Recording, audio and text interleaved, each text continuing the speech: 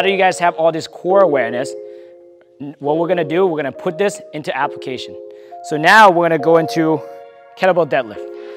Keeping that good stack position with your rib cage and your hips, what I wanna do is I wanna hinge back at my hips. So what I'm doing is this stay intact. I'm hinging down by sticking my butt back. Notice as I'm hinging down, I slowly bend my knees at the same time. So right here is a good hinging pattern, right? For those of you guys that do not have kettlebells at home, you can use anything, a gallon of water, dumbbells, whatever it is, right?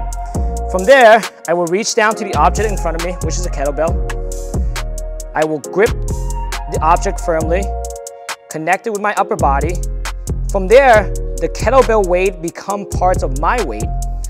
Now all I have to do is push into the ground and stand up just like a rocket taking off. So I'm pushing, standing up, squeezing my butt.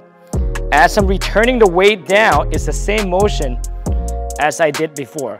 By sticking my butt back, bending my knees, drop down, drive right back up. The key to a good deadlift is you wanna make sure that you're loading your posterior chain, which is your hamstring, your butt, your core, and really take the stress out of your lower back. And if you feel any pinching sensation while you're doing this, go back and do the reverse Nordic and really re-educate your body on your core control.